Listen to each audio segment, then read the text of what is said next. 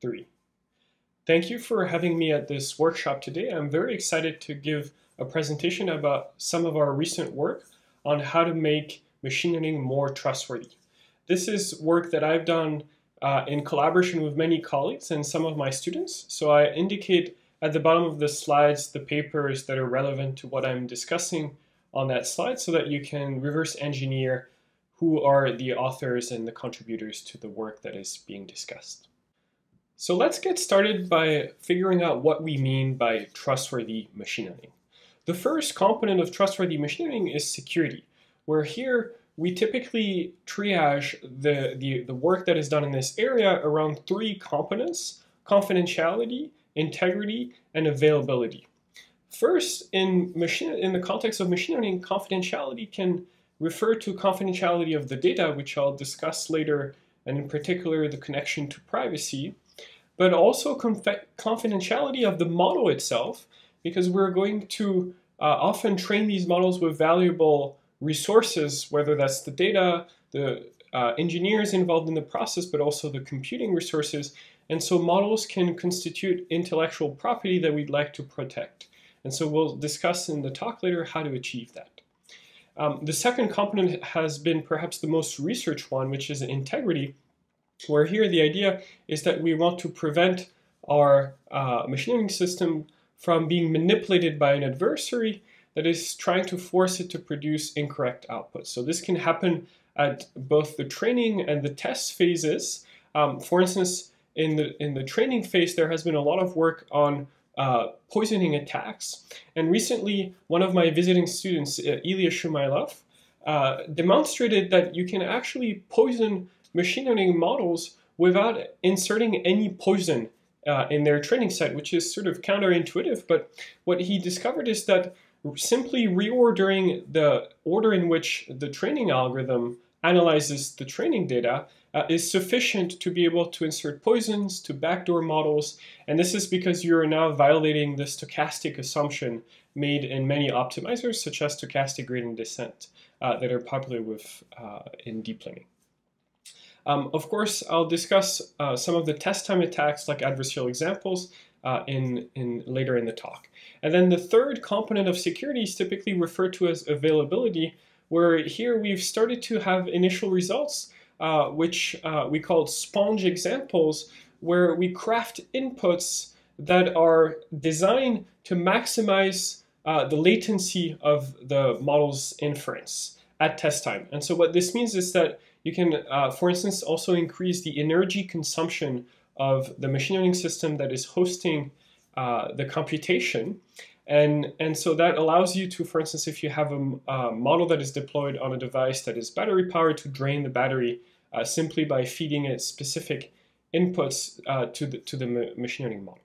And so I, I won't have time to discuss sponge examples in more details in the presentation, but if you're interested, I encourage you to check out the paper that is at the bottom of this slide. The second component of trustworthy machine learning is, of course, safety, where here this is a slight variant of security where you don't actually have an adversary that is attempting to manipulate, your uh, system. And so you can have uh, uh, sort of applications like self-driving, where obviously we want to ensure that the machine learning predictions are going to have good worst case uh, performance. And so we want to prevent uh, scenarios like this where here a simple change in the lighting of the environment is sufficient to degrade the machine learning model's prediction, uh, which is predicting the trajectory here. Uh, and here by changing the lighting, the trajectory is uh, completely wrong. A third aspect of trustworthy machine learning is privacy, where here, when we're involving uh, training data that is sensitive, in our machine learning pipelines, then we have to be concerned that the models that we train and deploy will potentially leak some of the information that they've analyzed during training. And so one of my students, uh, Christopher, demonstrated recently that it is possible to tell whether a point was or was not included in the training set of a machine learning model simply by having access to the labels that the model predicts on specific inputs. And so you can imagine that, for instance, if the model had been trained on sensitive healthcare data, then being part of the dataset is itself private information, and so we would not want that information uh, to leak simply by uh, uh, simply to an adversary that is able to only observe the labels that the model is predicting. And so I'll come back to how we can prevent this later in the talk. So in the first part of the presentation, I'm going to contrast the work that we've been doing on robustness to adversarial examples, which is uh, one possible uh, threat against the integrity of machine learning systems,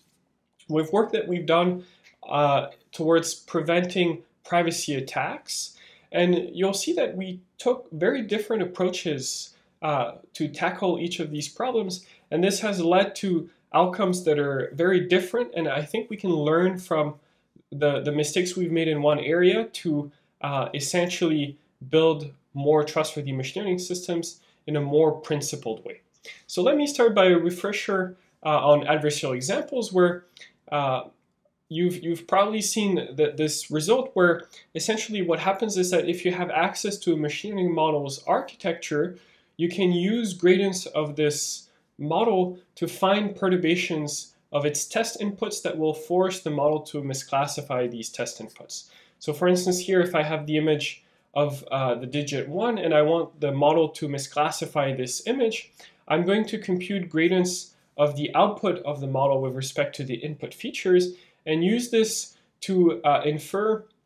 a saliency map that tells me when I modify each of the features of the input, how is that going to impact the different outputs of my model. And so once I have this saliency map, it basically allows me as an adversary to choose a target class that I want the model to output, and then to find the features that I should increase in the input in order to increase the model's output uh, for that specific target class. And so this is what the algorithm is doing here in a greedy fashion where it's selecting features that are uh, that have positive derivatives uh, for the target class, and then increasing these features, observing the change in the model's output, and then once we've done that for sufficiently many iterations, that is for sufficiently many features, we end up with an input that is misclassified here in the class 4 that we chose uh, prior to uh, starting this, this attack.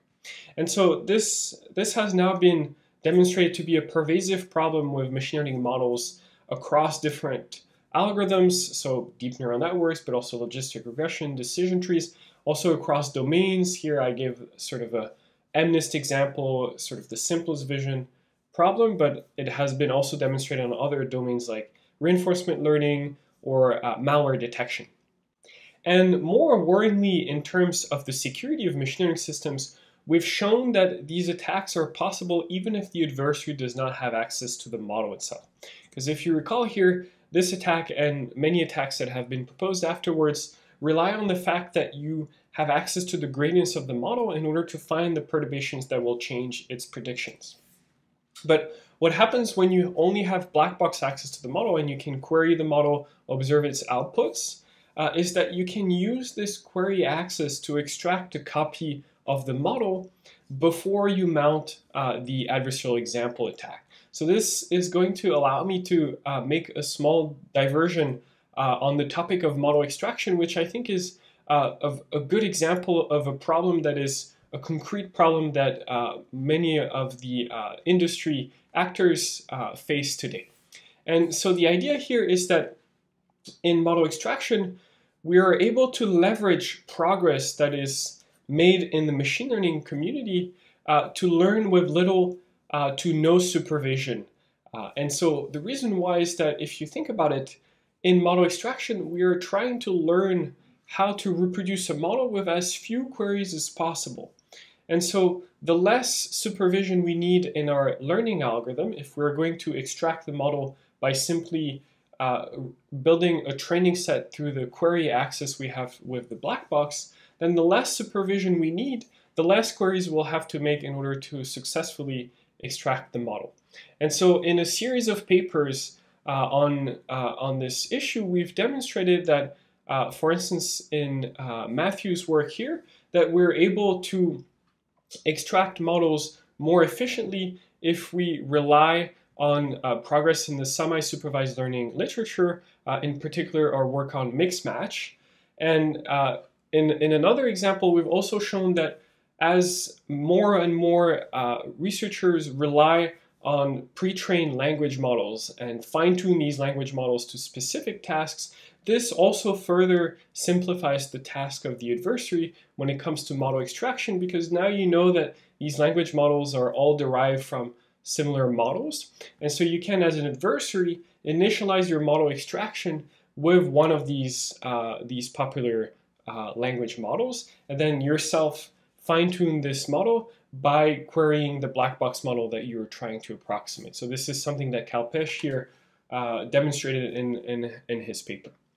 And so preventing model extraction is hard. Uh, the reason is that if you want your model to be available uh, for query access to legitimate users, then you have to reveal the correct prediction, the prediction that the model is, is making. And so anytime that you try to defend against model extraction, you're necessarily going to have a trade-off with sort of the performance that legitimate users of your model will be able to, to receive. And so one avenue that we've uh, been exploring recently in my group is to, rather than try to prevent model extraction, which is hard if not impossible, we try to detect once a model has been extracted. And so the first approach we propose to do this is uh, called dataset inference. And so this is work led by uh, Pratyush and Mohammed in my group, where what they've shown is that you can leverage um, the privacy literature to, and in particular membership inference attacks, to tell when a model was stolen because it was trained on data from your own training set.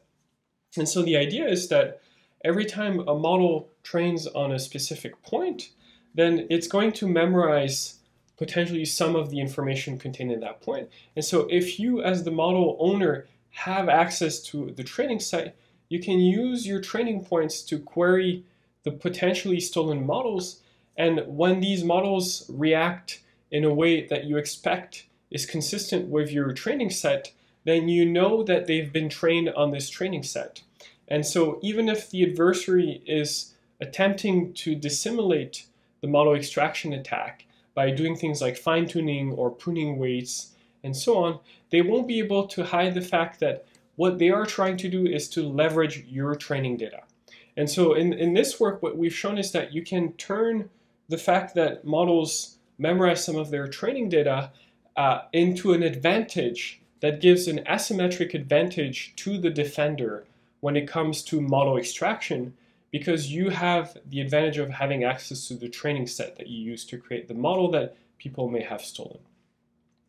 Another approach that we've been studying uh, and we proposed recently to uh, resolve ownership uh, questions is proof of learning. So here the idea is to say, well, what if I could demonstrate myself proactively that a model checkpoint is a checkpoint that I've spent the computing resources and I've provided the training data to obtain. And so the idea here is to realize that reproducing stochastic gradient descent is fairly difficult without having access to all the intermediate checkpoints and the associated um, non-determinism uh,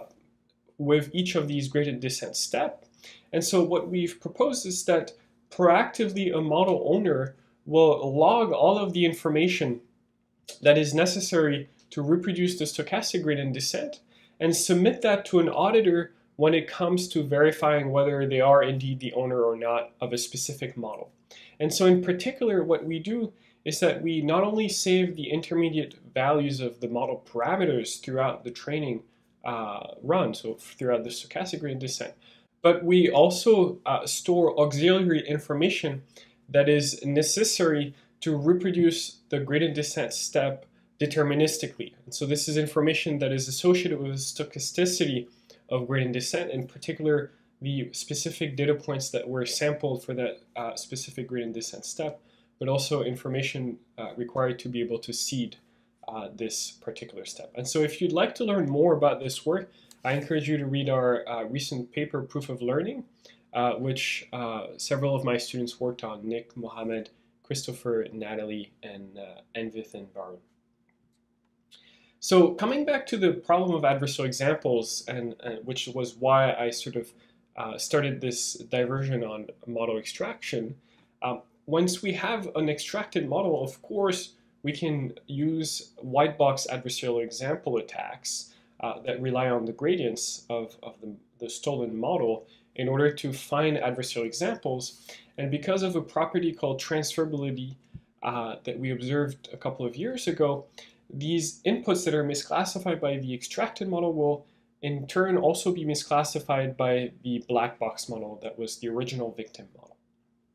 And so why did I introduce sort of the topic of adversarial examples is because I want to sort of stop for a minute and, and ask the question sort of what do we do now that we've uh, realized that models are vulnerable to these systematic attacks at test time? Well, what we've done is we've tried to decrease the amount, uh, the sensitivity of models to small perturbations of their test inputs. And so how do, how do we do this? Well, we need to characterize what it means to have a small perturbation here and the fact that the small uh, the perturbation is small is characterized in, in the community by saying that uh, the image here of a 3 uh, is uh, in the center of um, LP ball which indicates all of the images that should also be classified as a 3.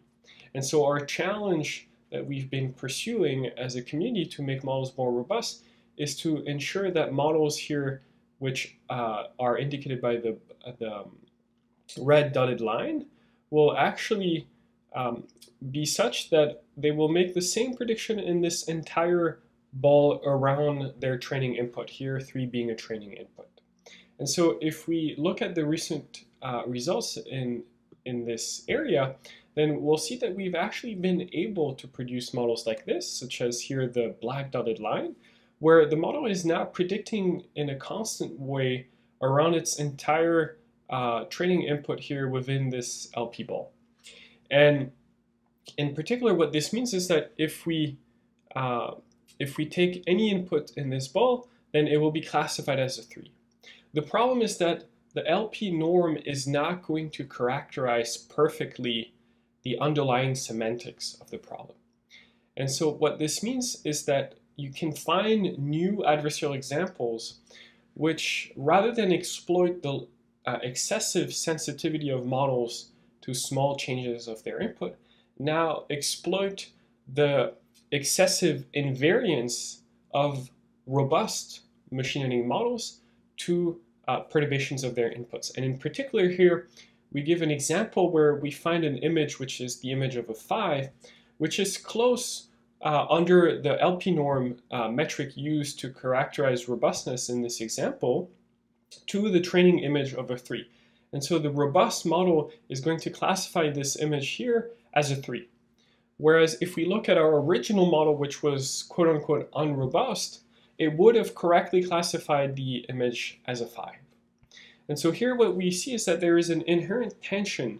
between robustness and accuracy that is created by the fact that the LP norm is not a good proxy for the underlying semantics of the task. And so we have a chicken and egg problem where here we won't be able to achieve robustness no matter how good we become at increasing uh, sort of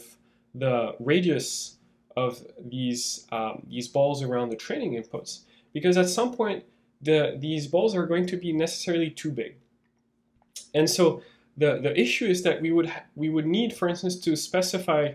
um, a radius that is different for each of the training inputs because some inputs might be closer to the decision, the ground truth here, which is the solid black line. Some of the training inputs might be closer to the, to the decision boundary than other training inputs. And so this is, uh, in, in my opinion, why sort of achieving robustness to adversarial examples through uh, LP norms is not going to uh, be conclusive in any way, no matter how much progress we make on that specific task.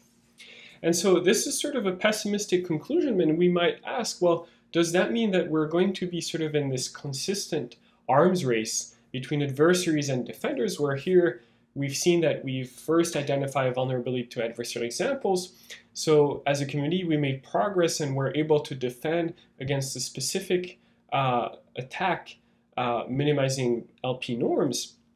And then now that we've been able to do that, then there are new attacks that we proposed, uh, and I recommend reading this paper here uh, led by Florian, if you want to know more about these new attacks that now evade the quote-unquote robust models. And so this, this really sounds like the start of an arms race, and this is something that is commonly found in many areas of uh, system security. In fact, Butler Lampson uh, sort of famously said in, in 2004 that practical security needs to balance the cost of protection with the risk of loss, right? And so this is the same then sort of physical security where if you have a house, you put a lock on your door, it's going to prevent most people from breaking into your house, but it's not going to prevent a bear which might fall outside your threat model. Okay, and so what I'd like you to think about is whether machine learning uh, introduces a paradigm that is sufficiently different that we can now approach security in a more principled way. And I think the, the answer to that question is yes. And the reason is that there are a lot of similarities between machine learning and uh, the field of cryptography. And I'm going to illustrate this with a particular example around data privacy, uh, and in particular, how data privacy is achieved in the framework of differential privacy. So privacy is a very subjective notion. If you ask different people, they will give you different definitions of what they mean by privacy. But fortunately, in the research community, we've agreed on sort of differential privacy, which was uh, proposed by Cynthia Dwork and her collaborators, as sort of the established definition for what it means for an algorithm to be differentially private. The idea is to say, well, my algorithm should produce indistinguishable outputs on two variants of my data set, one variant which contains the record corresponding to an individual, and the second variant which does not contain the record corresponding to that individual. And if these outputs are indistinguishable, then what it means is that an adversary that is observing my algorithm is unable to tell whether I'm operating on this first data set or this second data set, and as a consequence, they cannot know whether this individual contributed their data set or not. And so they cannot as, as a result, leak uh, any private information contained uh, in this person's record. Of course, if it was perfectly indistinguishable, then it means the algorithm is not going to be able to provide useful analysis. And so we instead have a probabilistic guarantee that bounds the degree to which these two settings are indistinguishable, uh, which is what is uh, stated here in, in this definition, where we're looking at the probability that the algorithm M makes a certain output S on a data set D, uh, being close to the probability that the algorithm, the same algorithm M, makes that same output S on a second data set D prime, where D and D prime are such that they only differ by one record, and you can uh, you have to verify that this is true for all possible pairs of data sets D and D prime, and all outputs S. And so, how do we achieve differential privacy in machine learning? There has been several approaches. Um, the perhaps the most uh, popular is differentially private stochastic gradient descent because it's very versatile. Today I'm going to introduce uh, a second approach that we proposed, um, which is called Pate, because it allows us to uh, really intuitively understand why differential privacy is uh, much more successful in uh, improving machine learning systems than, for instance, research that has been conducted on adversarial examples. Um, and so here the idea behind Pate is to say, well, rather than train one single model on your data set, let's partition the data set in n subsets of data. And from each of these subsets of data, we're going to train a machine learning model called the teacher independently. So what this means is we have n different models all trained from different data sets to perform the same task. And so the question is, how do we have this ensemble of teachers predict in a privacy preserving way, well, we're going to aggregate the, their predictions. Of course, if we just take a majority vote, then this provides an intuitive notion of privacy because we know the prediction is made uh, by uh, an agreement among multiple models that were trained from different data sets. So intuitively, the prediction doesn't really depend too much on each of these individual uh, subsets of the data. But there are corner cases where if, uh, for instance, about half of the models agree on one label and half of the models agree on another label, then one model might be a tiebreaker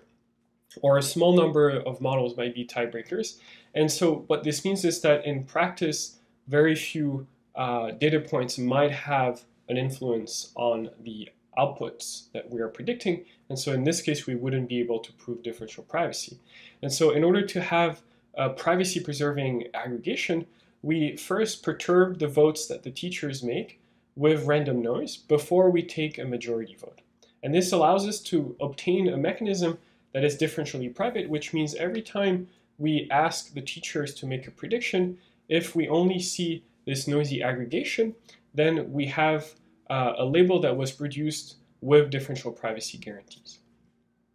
And so now we have an extra step which is there to bound the amount of private information that leaks from this mechanism because every time that we ask the teachers to make a prediction, a small amount of information that is bounded, but still a small amount of information potentially leaks from that prediction. And so as we make more and more queries, the privacy leakage is uh, potentially becoming larger. And so in order to limit the privacy budget, what we do is that we um, use the predictions of the ensemble of teachers to label a public set of data for a student to learn from. And so what this means is that we are essentially transferring knowledge from this ensemble of teachers in a differentially private way into the student model. And so then once we've done that, we can release the student model and it can answer as many queries as we want because the privacy budget was fixed at the completion of training. So this is an interesting mechanism because first of all, it allows us to see that when most of the teachers agree on a prediction, then this prediction is likely to be correct. So we have generalization, uh, which stems from the fact that they were trained independently from different subsets of data. But also when most of the teachers agree, what this means is that we can introduce more noise to these votes before we aggregate them. And so in turn, what this means is we can prove stronger differentially private guarantees. And so there's this very nice alignment between generalization and differential privacy, where the more agreement we have, the more likely we're generalizing well and the more private we are. And so this is very, uh, very advantageous. But Pate has another advantage with is that it naturally leads itself uh, to um, a distributed setup for learning with uh, differential privacy. And so here, what this is something that we showed in our recent work called CaPC, uh, where uh, a group uh, of my students essentially took the Pate framework and combined it with cryptographic primitives in order to enable the application of Pate in a distributed setting where each of these teachers would be uh, trained by a different party which already had an isolated subset of uh, data.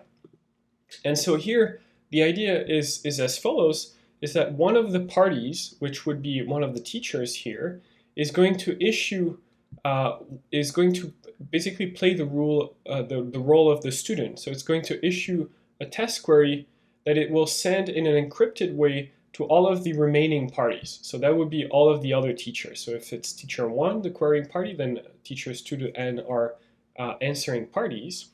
And so these answering parties receive an encrypted input to predict on from the querying party, and they're going to use homomorphic machine learning to be able to produce uh, a logits on this input without having to reveal their model to the querying party or without being able to read the input that the querying party sent. And then these logits are going to be uh, transformed into one-hot vectors uh, using a two-party protocol. And these one-hot vectors are going to be summed and noised by a content service provider, again, using uh, a series of uh, two-party protocols in order to produce the histogram in Pate, which is used to perform the majority vote. And once we've done that, we're going to engage in one last two-party protocol where the querying party is going to be able to receive the label, that is the noisy argmax produced with differential privacy, from the votes of these individual parties. And so what this means is that we get both the guarantees from differential privacy, which allow us to protect the training data of each of these answering parties, but also we get guarantees of confidentiality from the use of cryptographic primitives because here these parties don't have to release their models to the querying party and the querying party does not have to reveal what input they've uh, the answering parties to predict on. And so here this allows us to uh, enable distributed learning in a setting where each of these parties have heterogeneous architectures. So they don't have to agree on a common model like uh, would be the case, for instance, with federated learning. They can each retain their local model. And instead, what they're doing is they're exchanging labels to improve these local models uh, while retaining their own architectures and their own training pipelines. And of course, we get guarantees of differential privacy, which uh, you would not get from federated learning, which does not protect privacy. Um, and then the, the other advantage is that this allows us to improve the accuracy of the model and the fairness of the model because we can now rely on the fact that these different parties might have access to data that the querying party does not initially have access to. And so when the querying party gets, for instance, an input from uh, um, a subpopulation that is not well represented in their dataset, then they can leverage the predictions of the answering parties to improve their own local model's fairness uh, using the noisy labels that they receive. So again, I encourage you to read the, the CaPC learning paper uh, if you're curious about this, this work. Another advantage of learning with differential privacy with things like PATE and CaPC is that we get guarantees that are robust to the adversary's knowledge and capabilities in the future. So if you recall in the adversarial examples literature, I illustrated how there's an arms race between attackers and defenders. And one perhaps uh, very well-known example of this is gradient masking, where um, there has been a series of defenses that were proposed, which are essentially uh, trying to remove the gradients, or at least to set the gradients to very small values around the inputs that the adversary is going to query in order to make the gradient-based adversarial example algorithms uh, fail because they're not going to be able to optimize for the perturbation. But these defenses can be evaded simply by uh, using a model extraction attack, for instance, a black box attack, because the, uh, the approximated model that you're going to compute your gradients over in order to find adversarial examples uh, is going to have gradients that are informative, that have not been um, modified and uh, altered uh, to be uninformative. And so this is just an example of how in the adversarial examples literature, it's, uh, this arms race is led by the fact that we don't have guarantees that are robust to adaptive attacks that adversaries might come up with after we've uh, released our model with a specific defense.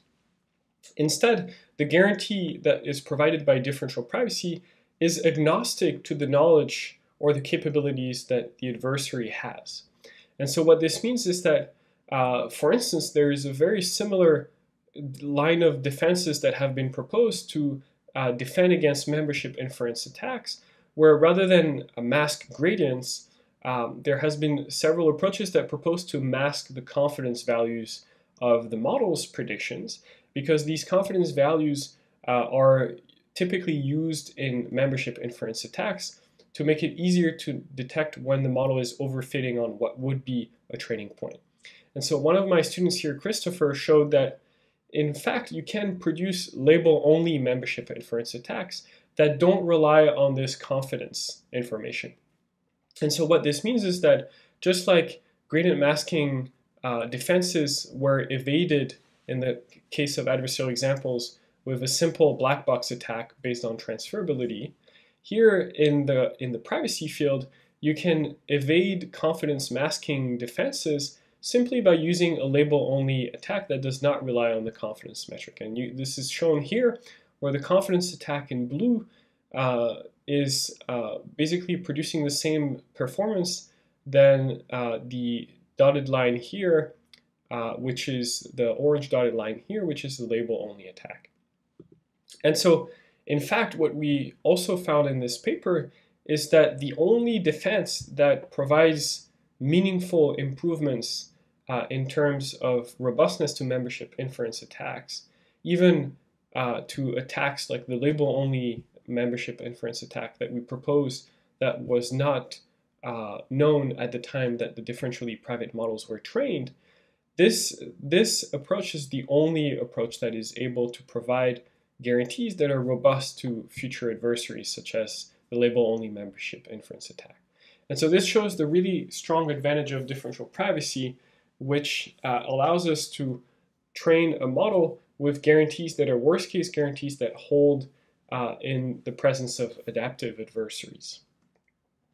So this is, again, why I think differential privacy is a really good example of what we should strive to achieve when we're developing trustworthy machine learning models because whereas in the robustness to adversarial examples case that I uh, illustrated, we had a direct conflict between generalization and robustness to LP norms, in differential privacy, we have this alignment between generalization and differential privacy. And of course, differential privacy provides guarantees that are worst case guarantees that are robust um, to, uh, to adaptive adversaries, whereas in the case of adversarial examples, uh, defenses like gradient masking are not, uh, are not robust to adaptive adversaries.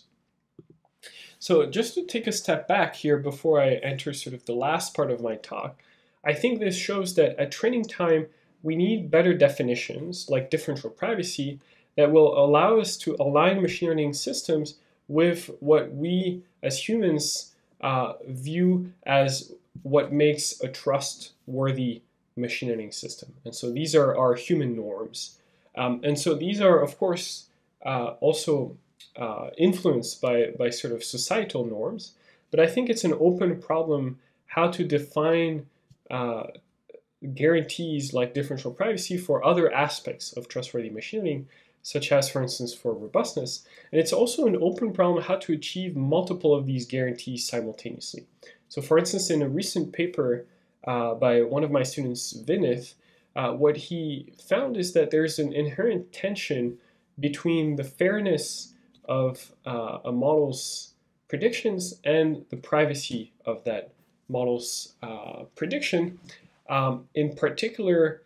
uh, this tension is exacerbated in the area of healthcare because of the heavy tails that these datasets have, where the fairness is uh, basically asking you to have good accuracy on the tails of the distribution, whereas privacy is trying to cut the tails of the distribution because that is where you don't have enough examples uh, to learn privately from. So I think this is a very uh, important and uh, unaddressed open problem uh, for, for future research. And so, so far I've focused mostly on training time approaches to improve machine learning systems. But there is also a whole realm of uh, problems at the test time phase and there, the, the idea is to sort of manage all of the limitations of our machine learning systems, which we haven't captured uh, and haven't been able to mitigate at training time. And I'm going to give uh, three specific examples here before I conclude. The first one is admission control, where we'd like to basically be able to um, tell whether a specific input-output pair is not an input-output pair that we want to reveal for our model because the model's prediction is not made with sufficient ev evidence in the training data to support that prediction.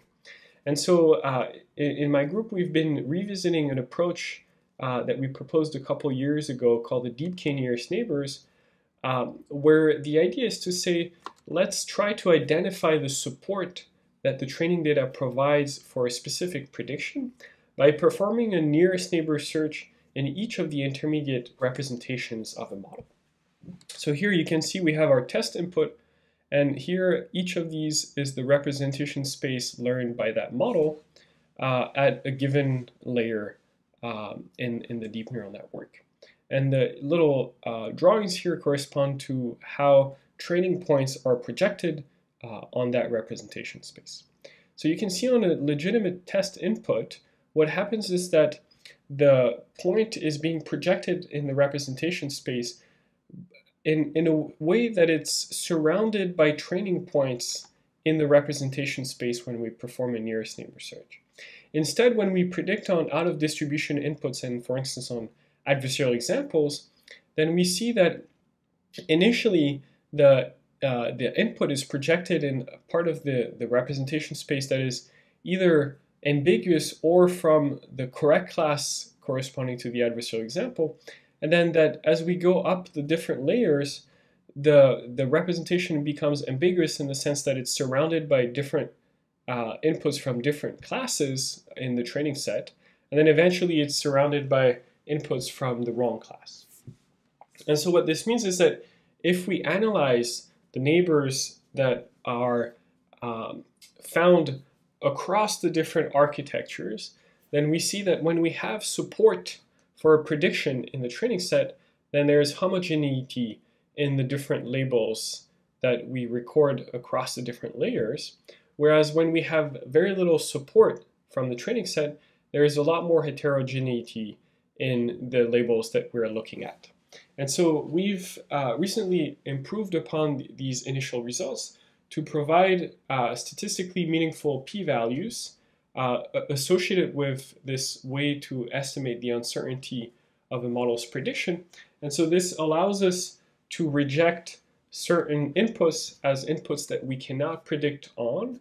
uh, given the training set and the model that we have uh, trained. The second approach that I wanted to discuss is uh, how to manage a model once it has been deployed and uh,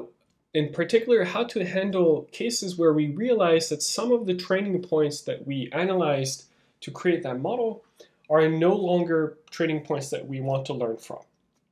So this can come from two, uh, two cases. First, we might realize that some of these training points were poison, and so we simply don't want to retain any of the poison behavior. And the second example is when users want to delete their training points, uh, and this has been popularized by uh, several legal frameworks for data privacy. And so here the idea is we want to patch the model once we've trained and deployed it to be able to unlearn what it has learned from some of the training points.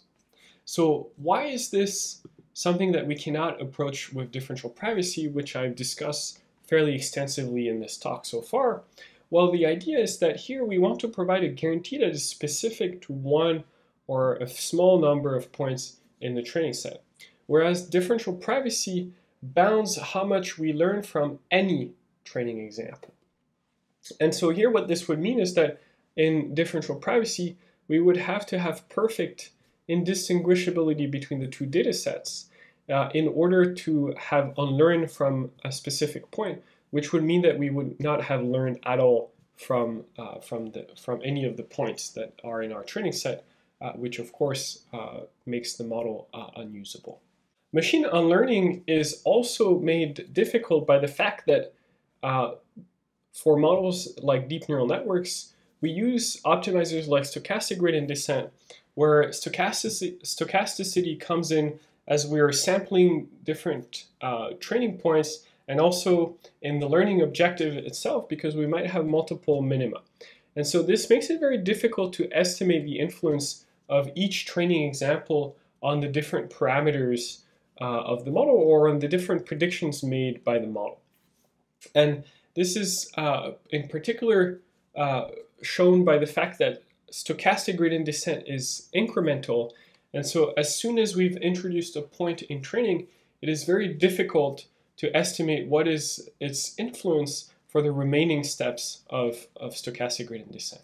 So the way that we define machine unlearning is rather strict, but allows us to come back to users and give them a convincing guarantee that their data has indeed not influenced the model in any ways. And so the idea is to say that the distribution of models that we obtain by first learning then unlearning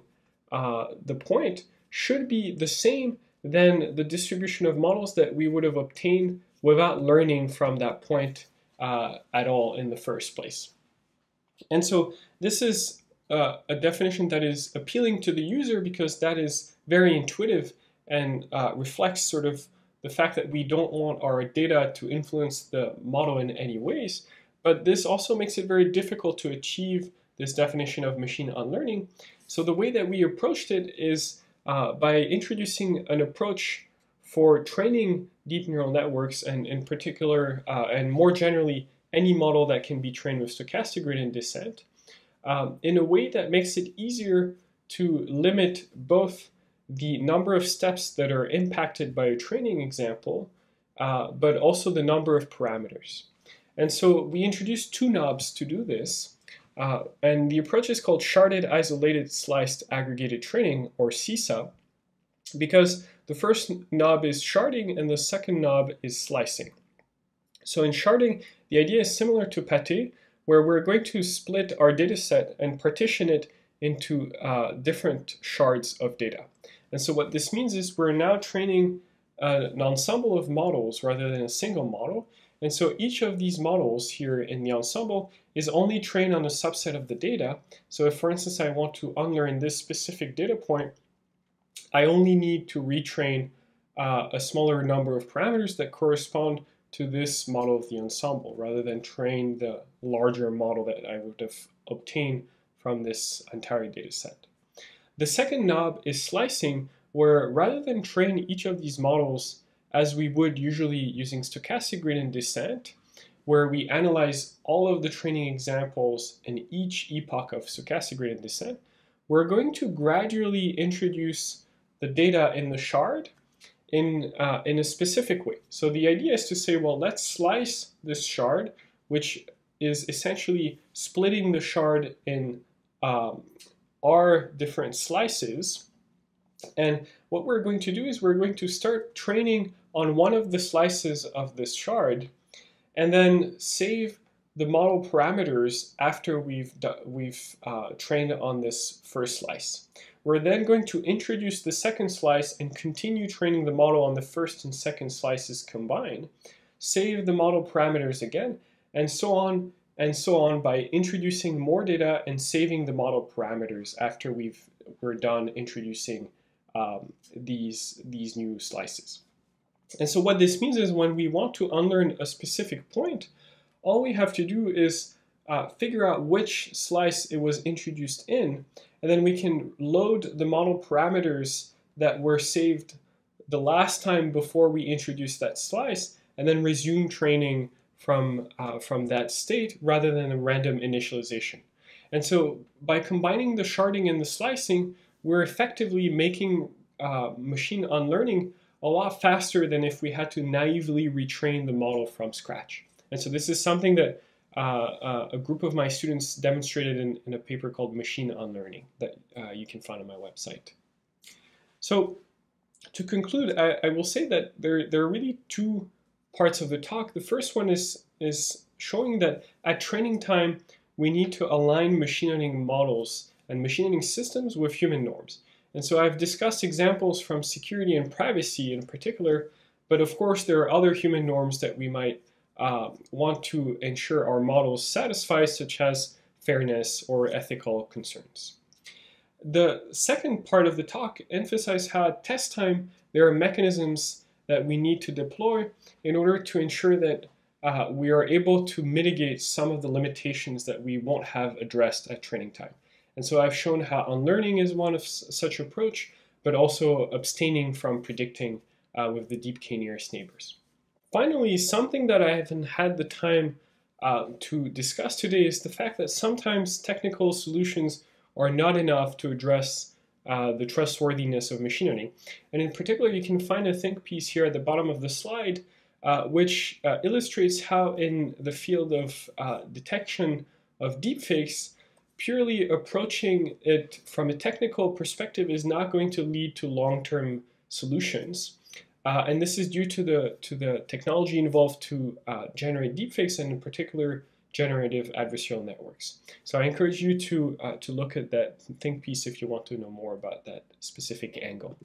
Finally, I know that sometimes as computer security researchers, we have a lot of negative messages about the limitations of, um, of systems, and in particular here, machine learning systems. I want to clarify that I view uh, trustworthy machine learning as an opportunity to make machine learning better. And again, this is exemplified uh, with our work on differential privacy for machine learning, where we can see that by making machine learning models differentially private, we're essentially improving their generalization, uh, which shows that we're uh, essentially helping machine learning researchers achieve the most fundamental goal uh, in machine learning.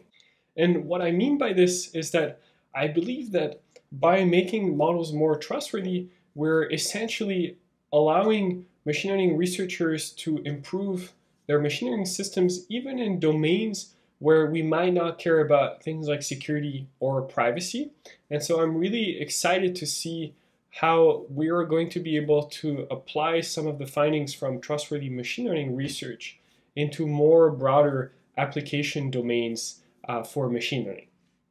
And finally, I wanted to just take the time to acknowledge that a lot of the work that I've discussed today was produced by uh, my some of my students, and so I took the liberty here of showing their uh, photos so that you can uh, see as well their names and contact them if you have any questions on, on the work that they've done. Thank you for your attention, and I look forward to your questions. I'm available always uh, through email uh, as well as Twitter. Thank you.